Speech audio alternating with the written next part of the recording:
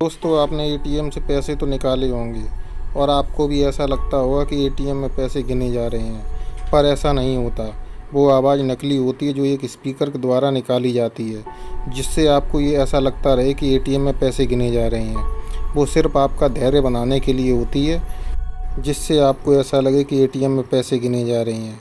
ऐसा किस किस को लगा, कमेंट बॉक्स में ज़रूर बताएँ, और ऐसे वीडियो के लिए चैनल को लाइक, शेयर एंड सब्सक्राइब करना ना भूलें।